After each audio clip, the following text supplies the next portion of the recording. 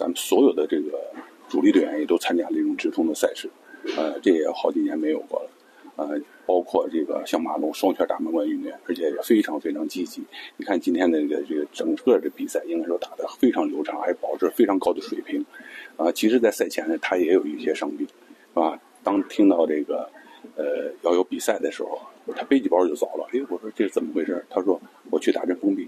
啊，给脚他其实那脚伤的还挺厉害，他有点骨膜炎，啊，所以我觉得这些这些运动员非常有这种求胜的这种欲望，有这种责任感。